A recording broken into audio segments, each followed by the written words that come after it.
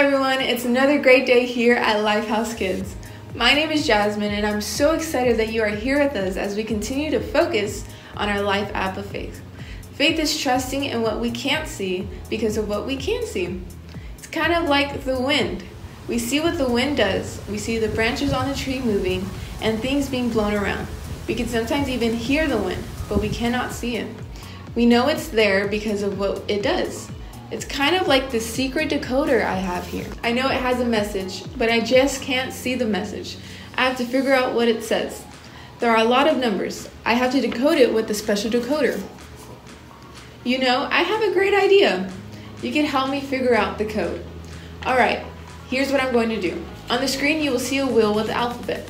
That is the decoder. Each letter has a number assigned to it. You will then be able to decode the series of numbers using the decoder.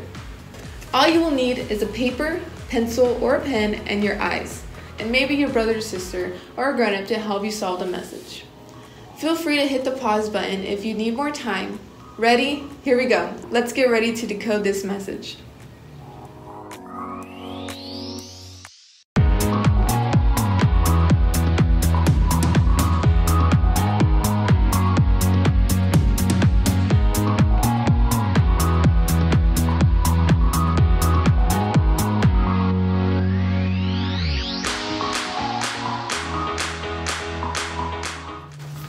Awesome job, everyone. Instead of a bunch of numbers, you saw this month's memory verse.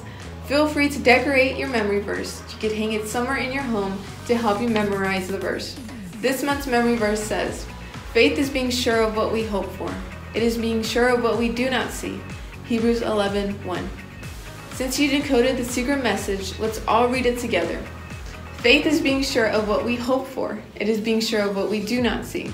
Hebrews 11 1.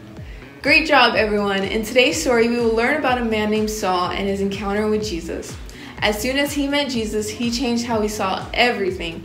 But before we get into that, let's all stand up and get ready to worship God together.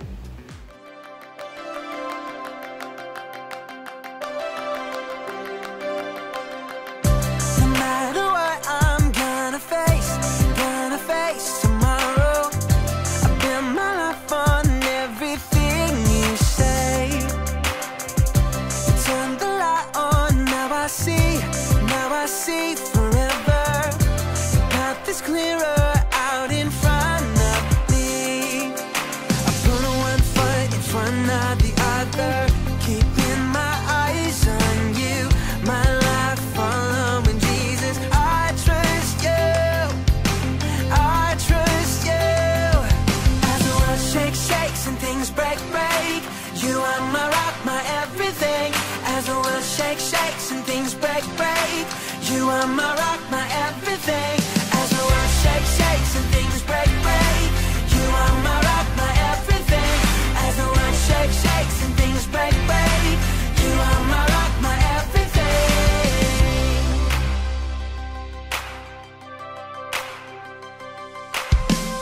No matter what I'm gonna face, gonna face tomorrow.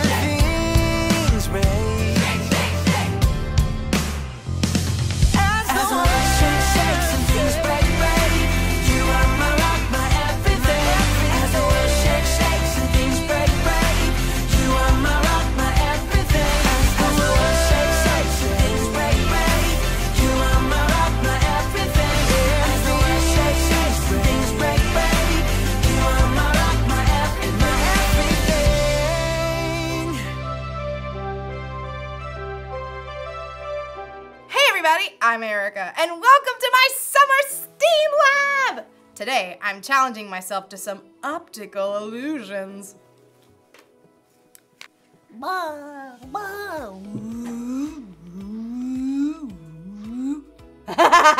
Dizzy yet? And you know what these tricky little eye puzzles require? A whole lot of faith!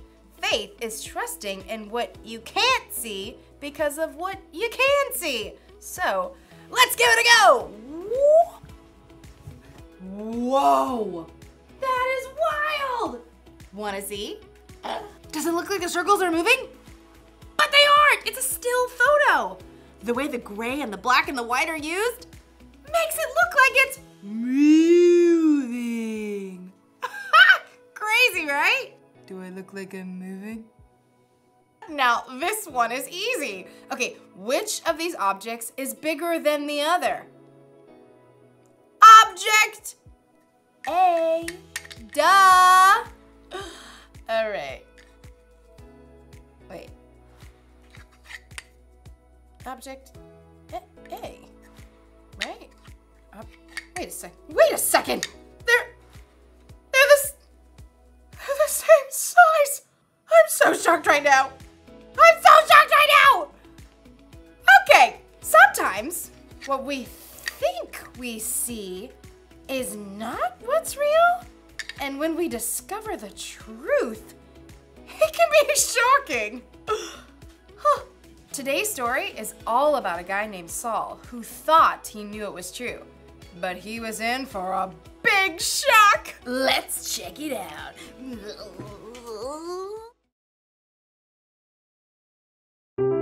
The Bible. It's 66 books of history, stories, letters, and poetry that fit together to form God's one big story. The epic adventure of how He created us and loves us so much that He made a way to rescue us. As we travel through the Bible, from Genesis to Revelation, we discover people who met God and found their lives changed forever. Now for an amazing story inspired by the book of Acts, chapter 9, verses 1 through 9. If anyone was set up for the good life, it was Saul of Tarsus. Greetings. Though Saul's family was Jewish, he was also born a Roman citizen. Throughout his life, he was known by two different names. You may call me Saul or Paul. As a young man, Saul was sent to Jerusalem to study with the famous Rabbi Gamaliel. Let's see. You have achieved 100% in classical literature, 111% in philosophy, and in ethics, 99%. Oh, ah, oh, I vow to do better. Saul became a Pharisee like his father before him. He carefully studied God's law and prayed three times a day. Dear God, help me follow your laws 100% perfectly. Like the other religious leaders in Jerusalem, though, Saul was caught off guard by the events that surrounded the life and death of Jesus. Good riddance. Now that fool can't try to overturn God's laws anymore. Haven't you heard? Jesus' follower says he's returned to life. They've seen Jesus? They've seen Jesus.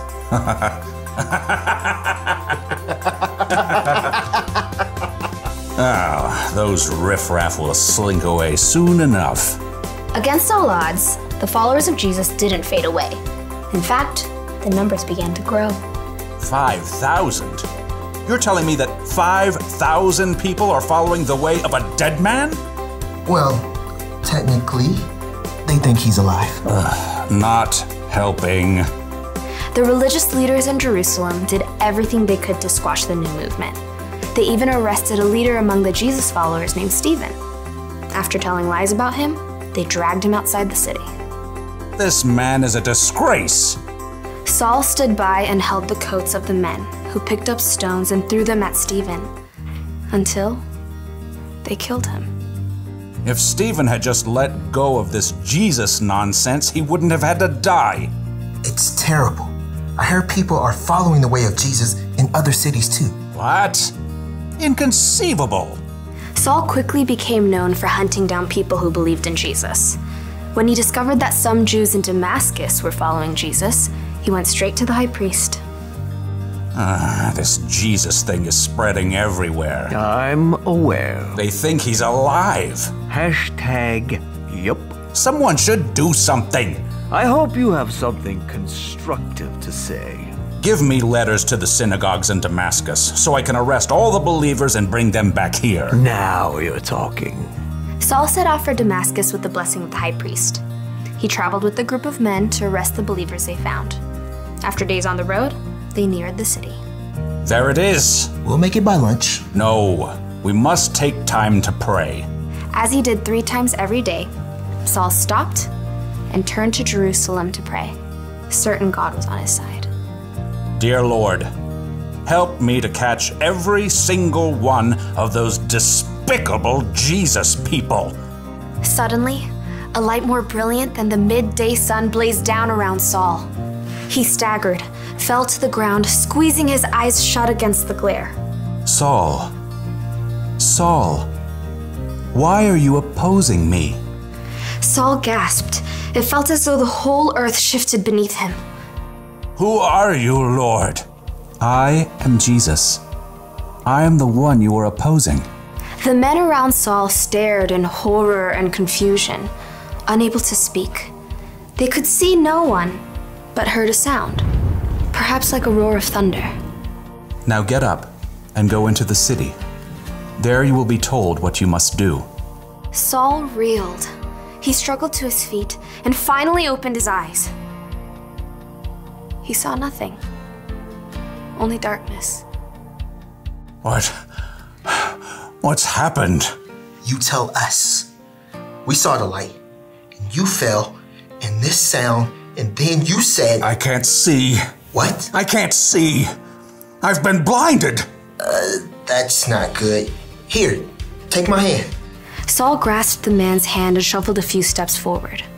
Who are you talking to? I. I think. I think it was Jesus. You heard Jesus? I heard Jesus. Saul's companions led him into Damascus, where he stayed at the home of a man named Judas on Straight Street. Uh, want something to eat? I'm not hungry. Or water? Not thirsty. For three days, Saul wrestled with himself and God. He'd come face to face with the very man he knew was dead, but discovered that Jesus was very much alive. Now blind, Saul was forced to see everything in a brand new light.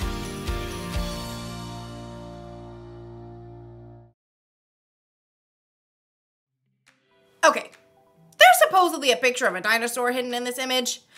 I don't. Focus, focus, focus, focus! Okay, I'll just have to have faith that there's a dinosaur in this picture because I do not see it. Speaking of, Saul literally couldn't see after his encounter with Jesus, but in a way, he could see better than he ever had before. Anyway, Saul saw everything. And Jesus made a way for everybody to be saved from their sins. After Jesus went back to heaven, he gave his followers the Holy Spirit. And then many more people believed in Jesus too. Saul wanted to stop the Jesus followers, and he really tried. But Jesus wanted Saul to know a better way. You know, it's amazing how God has revealed himself to people all throughout history. Saul, who is also known as Paul, so Saul and Paul are actually Saul Paul, was no exception, and neither are you. Just like God opened Saul's eyes to see the truth, he can open our eyes too. He may not appear to you in a bright light, but God can get your attention in all kinds of ways, like through nature. or a conversation with a friend. That's really good. I like that. You're so wise. A song on the radio. God can even use your own circumstances to help you know Him. And when you focus in and really see Jesus for who He is, the Savior of the world, it can change how you see everything. So that's the one thing to remember today.